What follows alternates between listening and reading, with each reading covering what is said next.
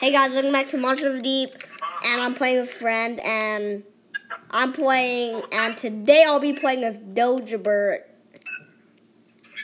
died. No!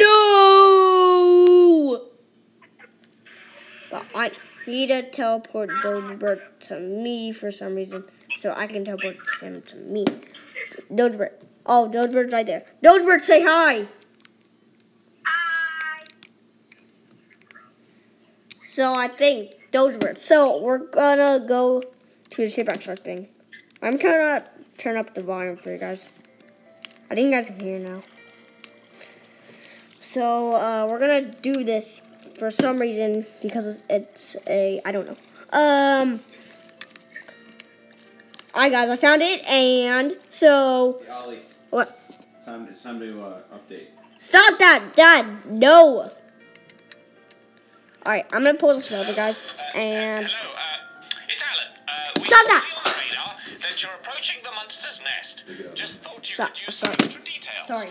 We Um, know I the monster has been the source of numerous Dad, shipwrecks, don't and we think that it has possibly Pick it up. absorbed some of Dad, the don't ship parts to make itself larger. minutes. So it's probably quite slow. I'm You should take advantage of that. kind of and- We also Okay. think it may be made out of some sort Doge Bert, are you at the place? I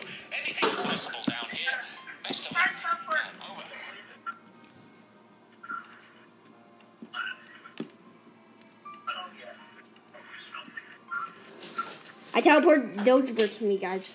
So, uh, uh, we're going to hunt. So, I will pause the recording until I get to the